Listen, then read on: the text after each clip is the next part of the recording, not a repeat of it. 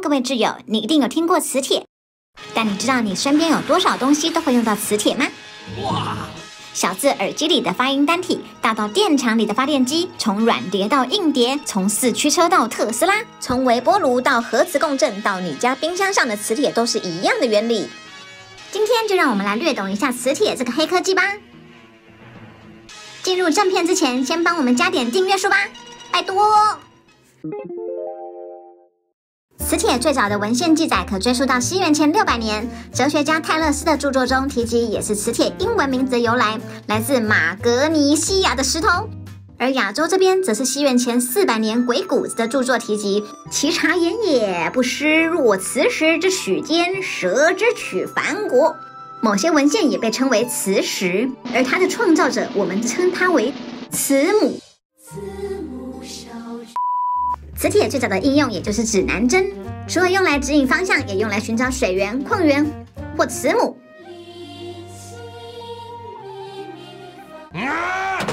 十二世纪左右，更开启了大航海时代。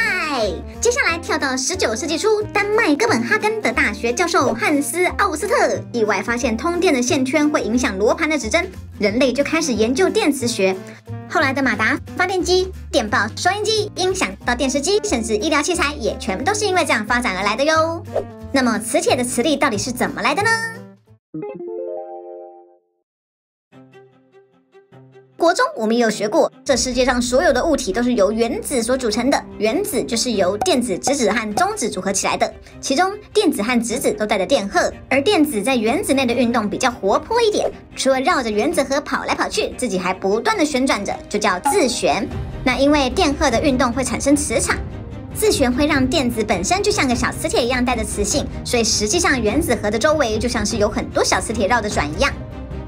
不过，大部分元素带着电子数是成对的，产生的磁场就会抵消掉，让那个元素不带磁性。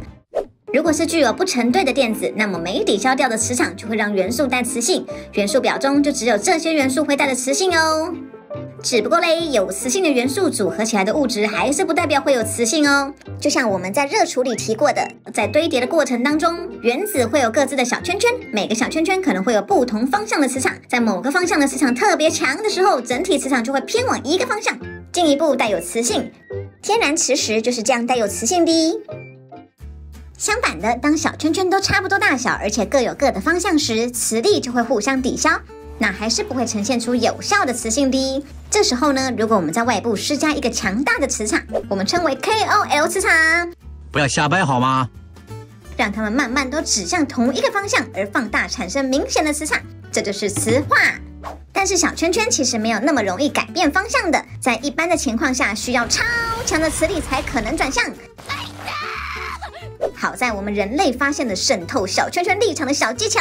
就是从外部施加能量，可以帮助我们有效率的磁化。第一种是利用敲击的方式对磁性材料敲击的震动，会让分子变得活跃，而磁场松动，变得更容易被外部磁场所影响。我们在敲钉子的时候，有时候敲敲敲会暂时让铁钉变小磁铁，就是这个原理啦。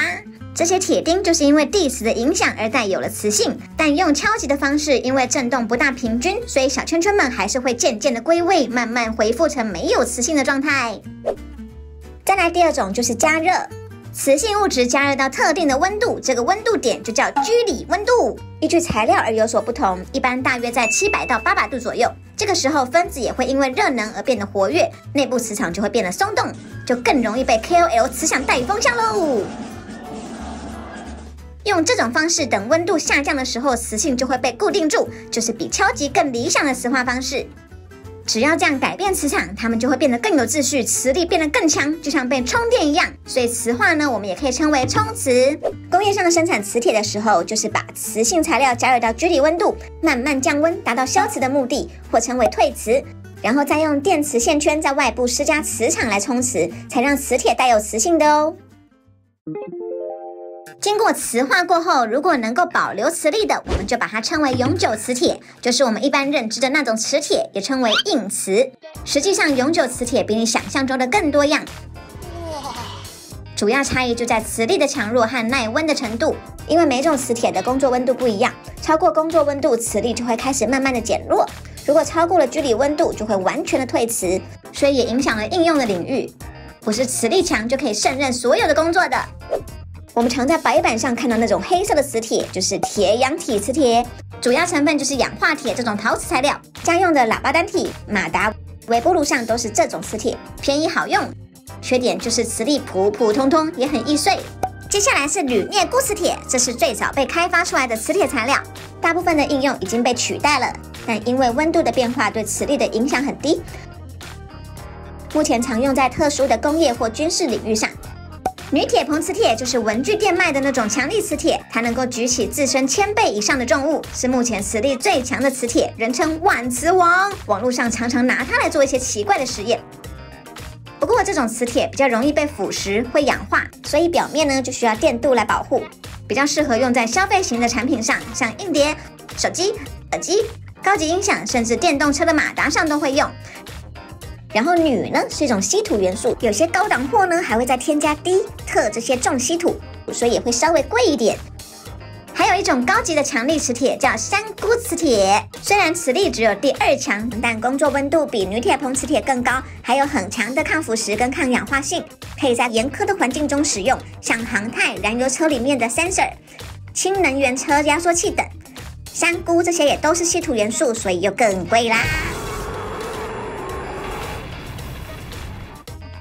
磁性粉末也可以混合橡胶或树脂材料来做成塑胶磁铁或橡胶磁铁，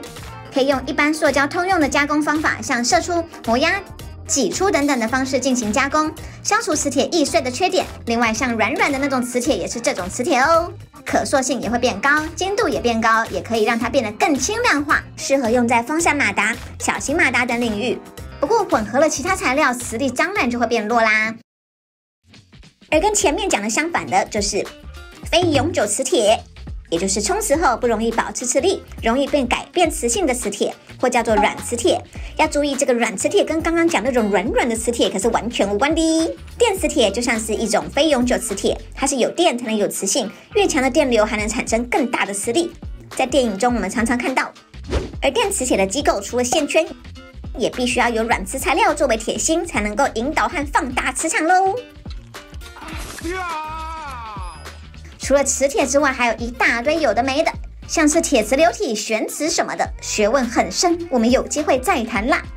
事实上，因为稀土金属矿源和分离技术大部分都掌握在中国，所以磁铁制造商也都是在中国居多。如果你要找 Made in Taiwan 的磁铁，那你就只能找台全金属喽，也就是本期的干爹。台全金属目前是台湾唯一拥有原料加工、烧结、研磨、冲磁完整生产线的磁铁供应商。已经有五十年的历史，这就是他们在龙潭的工厂。看这磁铁一个个烧出来，多疗愈啊！知名音响品牌 b o 户电都是他们的客户哦，可以说是台湾磁铁的扛把子。工商结束，谢谢干爹。其实我们人也和磁铁一样，在群众激昂的场合中，容易被激起热血，容易被左右，就像充磁前要先加温一样，洗脑也会先给你一段感官的刺激，就可以填充一堆讯息来改变我们的想法。所以，不管是面对金钱还是爱情，我们还是要记得保持一部分的冷静，才不会被拐得团团转呐。说到这里，我好想要一个大市场来狂吸粉啊！有没有搞错啊？今天就说到这啦，我们下支影片再见喽。